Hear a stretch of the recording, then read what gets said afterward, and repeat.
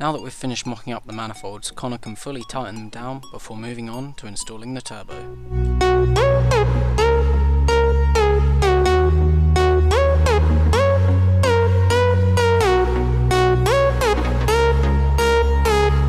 Whilst Connor is installing the manifold, I can run all of the various water feed and return lines for the cooling system.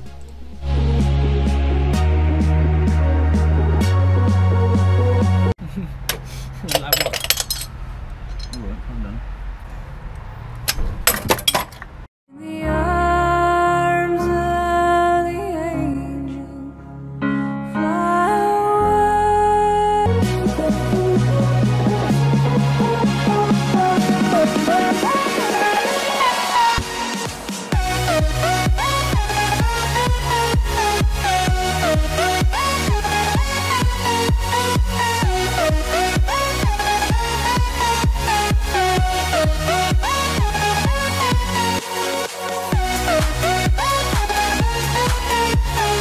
Next we have to complete a process called clocking the turbo.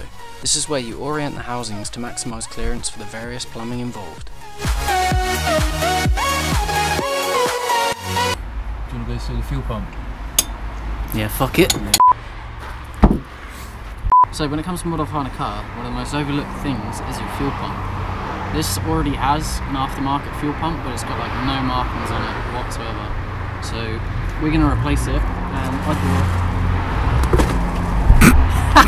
I bought a Walbro 450.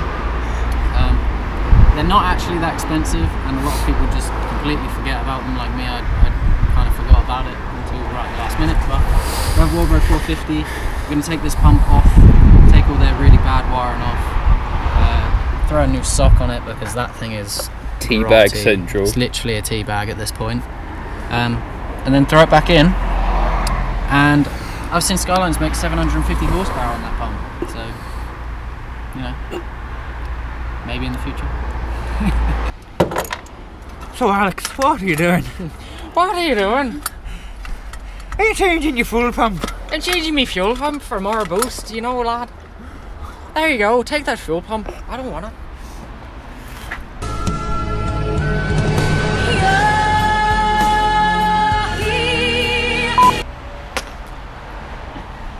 It's a good little trick. If you ever like have a bit of hose and you're struggling to get it on, then you can literally just don't like set it on fire, obviously, but just give it some heat from a blowtorch or a lighter, or your armpit A dragon, or a dragon. Or... your mum's breath. And then what you do is you just heat it up. You literally just give it a bit of a squeeze. Look how better, much better that went on. Straight on, no problems. So we just get the Jubilee clips, whack that on, stick it back on the rig. So we got all the, the new fuel pump on here. It's, a, it's quite long. Longer than the other one. But I suppose this is a 450 and most of the time people put the 255 Walbros in here, so it's probably bigger. Um, but we got it in, we got the wiring done, it's just a couple of crimp connectors and some spade fittings. A little bit of hose, which that feeds the rail the front. Got a little sock on. Now we just got to feed it back in. Pretty much good. Your fuel pump's installed. Just plug the connector back in. In our case, we're going to relay it, but that'll be in a different video. I'll explain what relaying is and stuff. Um, but yeah, that's that's how you install a fuel pump. It's that easy, and everyone forgets about it. To be honest, this is probably the hardest bit of installing fuel You'll pump. put the pump back in. Yeah. You got to get that facing the right way as well to get on those pipes. That in the right way. Where you are now, just look, just rotate it. No, you can't. It's shit in the way. Oh, fuck that socket. It's got to be over here, I think. Yeah, because it's got to match up with those pipes, doesn't it? Yeah. There you go. So that's how you put a fuel pump in. It's back in the in the car now, back in the tank. So all that's left to do now is do the bolts up, put the feed and return hoses back on. Then we can put the battery on, turn the key and see if it primes. Yeah, it's going to piss fuel all over the floor, but Fuck it. fuel evaporates. Yeah, pretty quick as well. Yeah, evaporates even quicker if you set fire to it. Alright, so we're finishing up now. We got a lot done today. We've got the turbo on and all the lines ran. I'm pretty sure you tightened up all the lines, didn't you, Connor? Yeah, so we're tight- all tight on the lines. We've just got to run the drain down to the pan. But we're not going to do that yet because I'm getting the pan winged and baffled. So there's no point in running the drain because we just have to take it off again. Um, the intake manifold is on. We've got to get some Jubilee clips uh, and some bolts to block things off and route the pipes properly because we don't have the right Jubilee clips. Uh, what else did we do? Oh yeah, we did the fuel pump. That's in. Uh, it doesn't work, but we think it's because the ECU is not attached to it, and I'm pretty sure there's a fuel pump relay that's like part of the engine ECU loom kind of thing. But there is voltage at the pump connectors. It's just not telling it to prime, so I think that's the problem. But we'll figure that out next time when we put the Power FC on and get that set up. Um, yeah.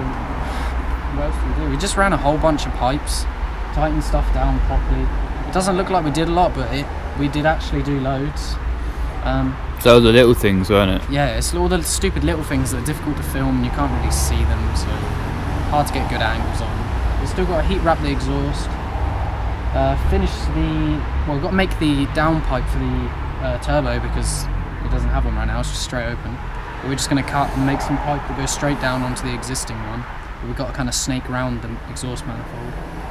Uh, we've got. A, we're buying a 45 and a 90 for the in, for the intake manifold into the throttle body. I'm pretty sure a 45 would do it. Connor's pretty sure a 90 would do it. So we're just going to buy both, and whoever wins has to buy the other person's seven up. Um, but yeah, next time we got the cams to install as well. So we've still got plenty of stuff to do, but we are rattling through it. So thank you for watching. If you enjoyed the video, hit the like button, and uh, we'll see you in the next episode. Where I'm not going to promise it, but we might start it. So it's one to stick around for. Thanks.